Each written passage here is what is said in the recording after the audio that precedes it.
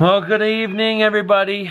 I am on Skype call with Melody from Onslaught 80, and I just found out that Muhammad Ali, one of the best boxers in history, died today at the age of 74. I'm not one to say he was the greatest or not because I never watched any of his fights except for one that I saw on YouTube a long time ago, and he held that match down to have an icon such as him pass at 74, I mean, he took quite a beating in his time.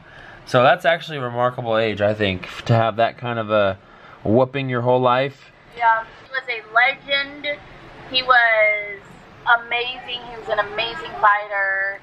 And so, rest in peace, Muhammad. Last time I remember watching him was when he was carrying the torch for the Olympics back in like 2000 maybe. They were saying that he hasn't been in the public eye for over a year or close to a year coming up. So, Muhammad Ali, you will be missed by so many people.